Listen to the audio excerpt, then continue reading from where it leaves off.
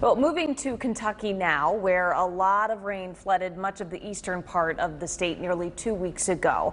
It's prompted a lot of people and organizations to make the effort to help as much as they can, including two men from here in the Piedmont. Yeah, Shannon Simos and Paul Henson told Fox 8's Daryl Matthews it took donations of food, a pickup truck, and a trailer to push them to spend their extra time helping people in dire need. Daryl joins us now live from the newsroom. So, Daryl, where exactly are they and what inspired them to go? Yeah, so right now they're in Mayking, Kentucky, and both Simos and Henson tell me they got there this past Sunday, and the plan is to head back to Winston this Saturday. But they also tell me this wasn't a planned trip. They say watching TV, they saw the need for help after the floods, and they gathered what they could and did just that it's difficult to see the struggle that they're going through, but it's gratifying to know that we can provide a little bit of comfort. A little bit of comfort, but tons of support from two Winston-Salem natives after double-digit rainfalls sent stream levels to record heights in Kentucky, causing massive floods. It was easy to identify with these folks and see that they needed help.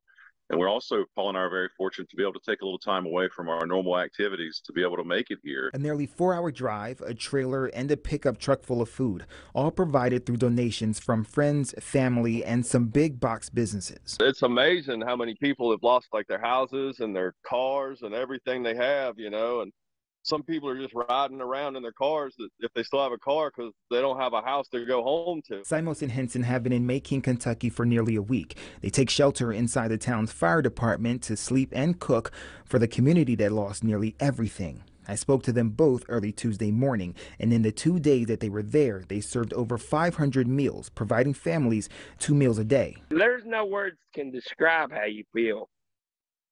I mean, sometimes you just want to give up and sit down and just cry for these people. Vehicles floating down the highway, uh, down the river, uh, houses, unbelievable. The devastating flash floods in eastern Kentucky have killed 38 people, including four children. It ripped away homes and businesses, leaving thousands of people homeless, and President Biden declaring the floods a major disaster and announcing federal aid and help from rescuers. Really torn up. Right here at the fire station where we're at, it's not that bad, but a quarter mile in any direction is really bad off. Mayking Fire Chief Tony Fugate says seven counties were hit by the floods, and while the community still has a lot of rebuilding ahead, he says Simos and Henson's efforts to help out where they can aren't going unnoticed. They're a godsend and to the people of our community, and I'm very thankful they're here and they're welcome here anytime. This is just humans helping humans. Paul and I had time. We had the opportunity.